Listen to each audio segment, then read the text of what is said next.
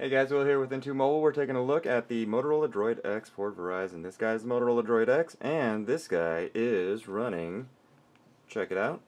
What is that? That is a new lock screen, the lock screen that you get with Android 2.2 Froyo. So, when you try to unlock it, it actually turns in, you got the X in the background first of all, but when you unlock it, you get that little bar, oops, turned off on me, you get that little bar that goes across letting you know that you have to fill it to unlock, or to mute it, you want to go all the way and fill up that bar. So, unlock, bam, just like that. Oh, actually, if you guys didn't see that, um, when you mute it, you get a little notification. Sound is off. When you go all the way, sound is on. Okay, good. So unlock. Bam, home screen, there we go. So we have Quadrant Linpack, which we use to benchmark this guy. Um, Droid X with 2.2, with Android 2.2, otherwise known as Froyo, actually managed to beat the Nexus 1 with Froyo. One of the first changes you'll notice is, check it out, right on the home screen you have VZ Navigator. This is Verizon's uh, GPS navigation service, 10 bucks a month. Um, not sure why it's on the home screen because, uh, of course, with uh, Google Maps here, where where is it? It's right there. With Google Maps there, you have um, GPS navigation built right in. So strange that that would be on the home screen, but it kind of does make sense. Actually, it makes dollars and cents because Verizon can, can make more money off their $10 a month navigation service than Google's free navigation service. If you check out the uh, home screen, it's basically everything we, we're used to with the Motoblur, very light uh, UI tweaks here. Uh, you have the toggle buttons to access radio communications, your weather uh, widget, of course 3G mobile hotspot, which is not part of Froyo. This is actually not the native uh, Wi-Fi hotspot feature in Froyo, but actually Verizon's own uh, 3G mobile hotspot uh, feature. Maps, of course, Verizon My Account, um, shortcuts to apps down here, a couple widgets for calendar and your Google search and uh, messages, that stuff. Going to the right, you have your contact shortcuts. Now these are the Google widgets. Okay, these are Google toggles for your radio communications, refresh, and uh, and your um, your screen brightness. Whereas on this side you have these are the Motoblur toggles. These are the ones that come with the Droid X. So. Um, and of course, your gallery widget, your playlist widget here, these everything is pretty much the same. Most of this stuff is pretty much uh, what we've seen on the Droid X with the with the 2.1 Android 2.1 Eclair ROM that it ships with. Um, so what's different? Not is it on, not only is it this that's different. If you go into your market to Android market, you'll find a few of the differences by uh, going to menu and actually going to downloads and taking a look at the apps that you have installed. If you go there, you have this option right here. Check this out. Allow automatic updating. So as soon as there's an automatic, as an upload, uh, sorry, allow automatic updating. As soon as there's an update available for this Android app, uh, in this case, Advanced Task Killer, um, Android 2.2 Froyo will automatically update it without you having to be like, sure, update this one, update this one. You do have to go through all of them, and uh, as long as they're compatible, you have to check the box to manually update them. But this is a one one-time thing, right? If if uh, once you do this and go through your entire list of apps and you click automatically update, as soon as there's an update available, Android will update it for you automatically without you having to tell it to do so. So that is an awesome feature that's in Android market. Um, what else? Well, you go to settings and you're going to go to applications where there you go to applications and one cool thing that you'll see with Froyo is look at this. You have a new applications manager here. So you see all your apps. These are what? These are all your downloaded apps. You can see your running apps, like so. You can see all your apps, like so.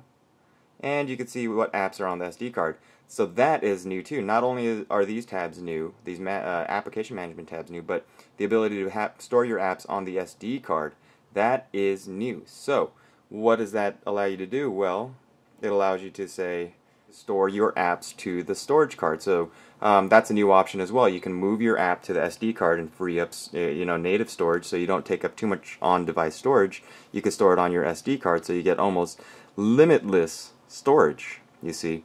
Um, you can do that with all apps that are compatible, so move to SD card right there. Um, you see that option, it's kind of grayed out right there.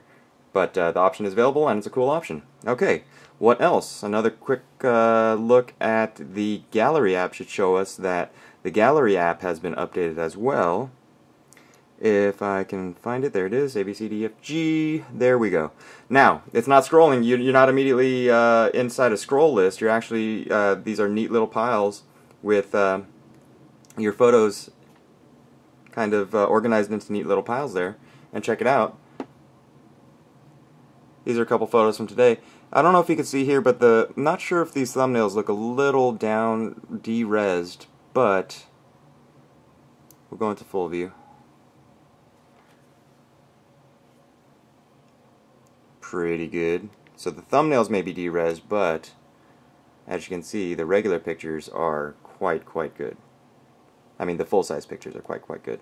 And a little video, just so you guys can see.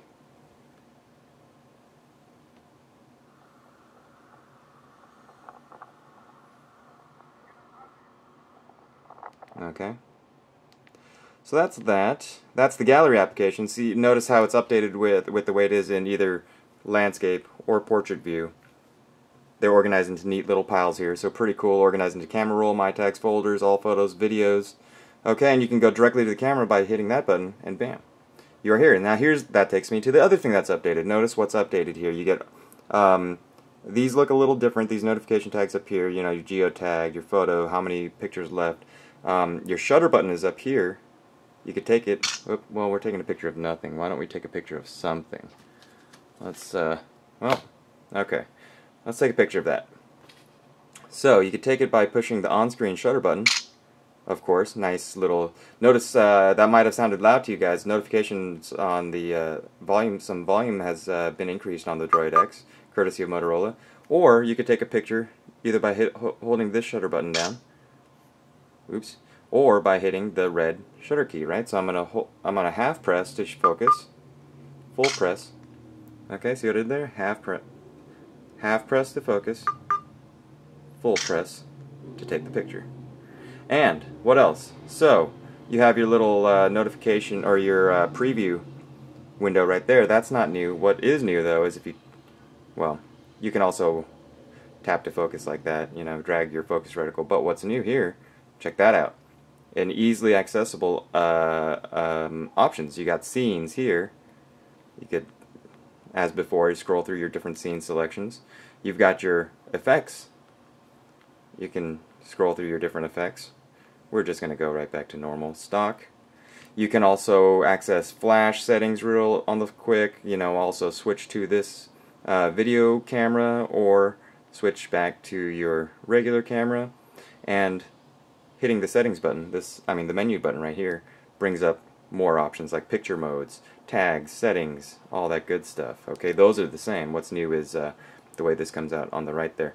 So pretty cool. Those are cool changes. Um, what else are we looking at here? We also have uh, an update to the battery manager, and that you'll. Oh, let's put it in this format so I can read it better. Uh, to the battery manager, um, so it looks different. Okay, you get that cool icon, very cool battery mode, you're on. Uh, there's there's a new battery mode. Uh, there's nighttime saver. So normal operation during the day, battery saver at night, which makes sense. Maximum battery saver, performance mode, and a custom battery saver mode. So you can actually customize the way you manage your battery by uh, powering down your radios, adjusting screen brightness, and uh, uh, all that good stuff. So that is a quick look at the Motorola Droid X with none other than the Android 2.2 Froyo ROM.